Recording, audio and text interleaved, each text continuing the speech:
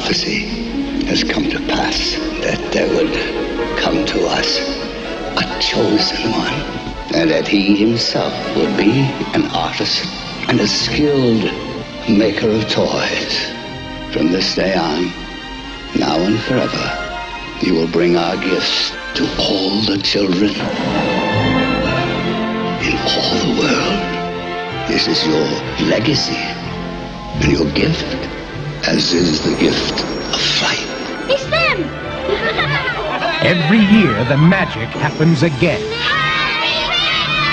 Merry Christmas! It certainly should be. Until now. what are you? I'm an elf. An elf? Yes. You mean like a fairy? I mean, I'm talking modern methods of production here. I'm talking assembly line. I'm talking way for the future.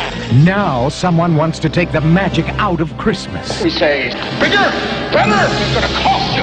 Cost? Cost who? Uh, the people who, who buy the toy. Well, nothing. We're going to give them away free. For free? Well, that's how we do it at the North Pole. Well, that's not how we do it here. Santa Claus is finished. I just wanted him to see what a good assistant I could be. Only one man can stop him.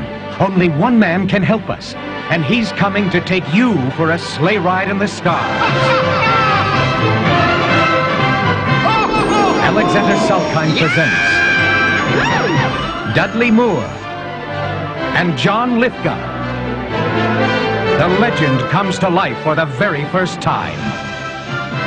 With all the magic, all the adventure, all the wonder.